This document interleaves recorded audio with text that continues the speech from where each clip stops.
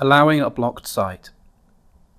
Sometimes a site may be blocked for a user or group of users which you may wish to allow. For this example of a higher education college, student Tobias is doing a study on male popular culture for a project, and so has been given verbal permission to view the site playboy.com. Tobias has tried the site, but it was blocked. To see a browsing history, we can look in Reports Real-Time Web Filter.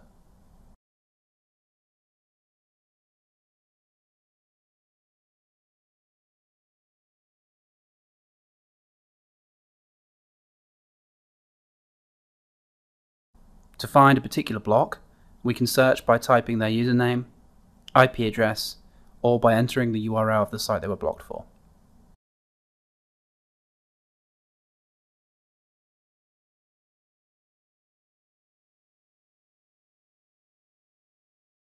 Here we see that Tobias was blocked from viewing Playboy.com because it's categorized as adult sites, pornography, and was blocked by the policy Core Blocked Content. Hovering over the policy reveals the details of the policy, the who is everyone, what is core blocked content, where is everywhere, when is always, and the action is block. In this case, core blocked content is a category group it contains many other categories including pornography and adult sites. Obviously these are not categories that we want to open up for students globally, and so we'd need to do this as a specific URL. To unblock a specific site URL, it needs to be added to a custom category, which can be found under Guardian, Policy Objects, Categories. The URL can be added to an existing custom category. Here we will create a new one. The first step is to enter an appropriate name. As these are adult students, we will create a category called Student Custom Allowed and use it for any other sites we want to allow for all students. It's possible to enter a comment to help remember the details of the category.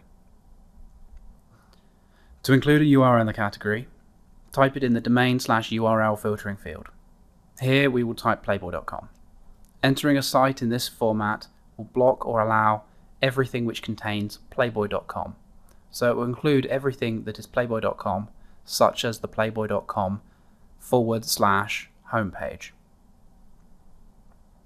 Click Save and the custom category is created. The next step is to apply the category to a policy to ensure the sites within it are blocked or allowed. Filtering policies are managed in Guardian, Web Filter, Manage Policies.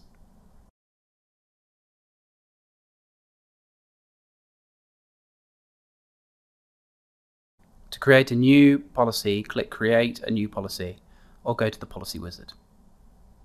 Step 1 is to define the who, the user or group which the policy will apply to.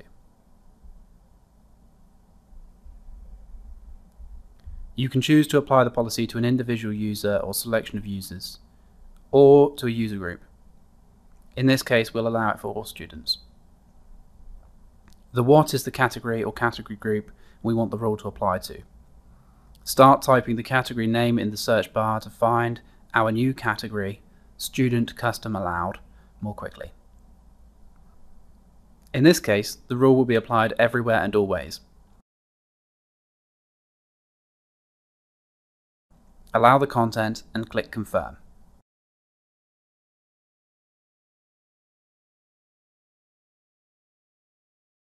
Click Save and the policy will be implemented. Clicking on the rule allows us to drag and drop it to the position we want in the list. Drag the rule higher above the block policy that contains the content and click Save to enable the rule. To ensure the policy has worked, you can go back to the real-time viewer and see the policy in action. The real-time web filter report is under Guardian Real-Time Web Filter. This time when Tobias goes to the URL, some advertising content is blocked, but we see that the site is allowed.